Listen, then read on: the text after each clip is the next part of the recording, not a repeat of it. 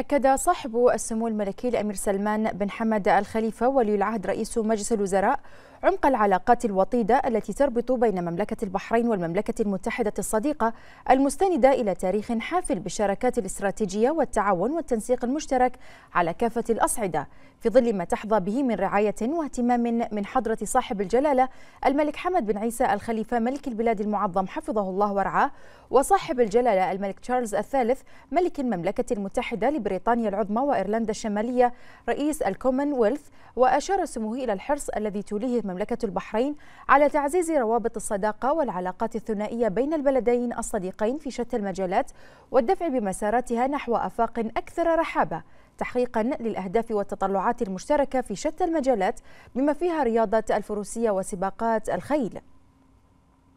جاء ذلك لدى لقاء سموه حفظه الله صاحب الجلالة الملك تشارلز الثالث ملك المملكة المتحدة لبريطانيا العظمى وإيرلندا الشمالية رئيس الكومنولث بحضور سمو الشيخ ناصر بن حمد الخليفة ممثل جلالة الملك للأعمال الإنسانية وشؤون الشباب قائد الفريق الملكي للقدرة وعدد من أصحاب المعالي من كبار المسؤولين في جناح مملكة البحرين ضمن بطولة وينسور الدولية للقدرة. وذلك في إطار حضور سموه مهرجان وينسور الملكي للفروسية بالمملكة المتحدة نيابة عن حضرة صاحب الجلالة الملك حمد بن عيسى الخليفة ملك البلاد المعظم حفظه الله ورعاه. وأشاد صاحب السمو الملكي ولي العهد رئيس مجلس الوزراء بالحرص الذي يبديه سمو الشيخ ناصر بن حمد الخليفة في المشاركة وأنجاله في مختلف مسابقات القدرة الدولية متمنيا لهم التوفيق ورفع اسم المملكة عاليا في كافة المحافل. مؤكدا سموه أن مشاركة فرسان البحرين في بطولة وينسور الدولية للقدرة بالمملكة المتحدة ومنافستهم ضمن نخبة من فرسان العالم تعد فرصة للتألق واكتساب الخبرات وإبراز الإمكانيات العالية والمهارات المتقدمة التي يمتاز بها الفارس البحريني في ظل ما تشهده رياضة الفروسية وسباقات الخيل في مملكة البحرين من تطور متواصل باعتبارها جزءا من التراث البحريني الأصيل.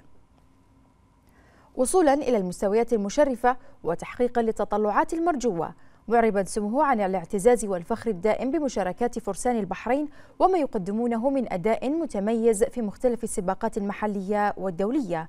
ونوه سموه بما يحظى به مهرجان وينسور الملكي للفروسية من مكانة مرموقة على المستوى الدولي وما يشهده من منافسات قوية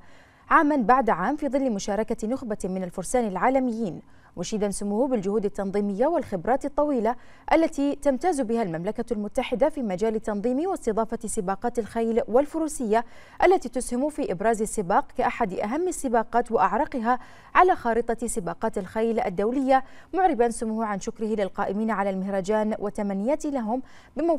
بمواصلة تحقيق الإنجازات. هذا وقد تابع صاحب السمو الملكي وللعهد رئيس مجلس الوزراء بطولة وينسور الدولية للقدرة. كما حضر سموه عددا من فعاليات مهرجان وينسور الملكي للفروسية بالمملكة المتحدة بحضور صاحب الجلالة ملك المملكة المتحدة لبريطانيا العظمى وإيرلندا الشمالية رئيس الكومنولث ومشاركة واسعة من الفرسان من مختلف دول العالم.